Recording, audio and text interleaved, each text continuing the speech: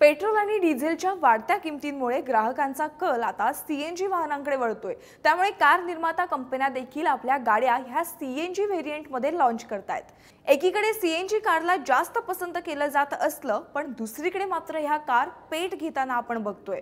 जर तुमच्याकडे पण सी एन जी कार असेल तर काय काळजी घ्यायची आहे ते आत्ताच नोट करून ठेवा. पहिलं गॅसच्या प्रमाणाकडे लक्ष द्या. सी एन जी कार वापरताना कारमध्ये भरण्यात येणाऱ्या गॅसकडे लक्ष देणं गरजेचं आहे. गाडीमध्ये कधीही फुल सी एन जी करू नका.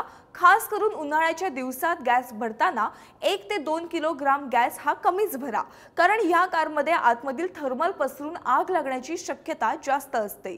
त्यामुळे प्रमाणापेक्षा कमी गॅस भरलेला कधीही चांगलाच. दुसरं आणि महत्त्वाचं म्हणजे कार उन्हात पार्क करू नका.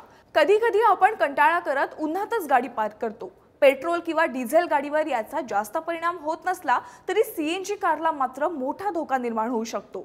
उन्हाळ्यामध्ये सीएनजी कार भर उन्हात उभी केली असली तर कारची केबिन जास्त गरम होते आणि त्यामुळे बऱ्याच प्रॉब्लेम्सना सामोरं जावं लागतं.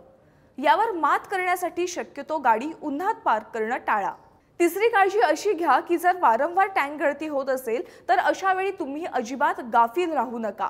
वेळ वाया न घालवता तत्काळ मेकॅनिककडे जाऊन तुम्ही तुमच्या कारमधील लिकेजचा प्रॉब्लेम सुधारा.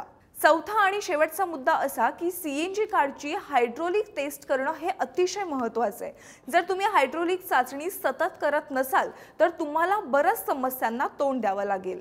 हे सगळे मुद्दे गांभीर्यानं लक्षात ठेवा आणि वेळीच सावध व्हा.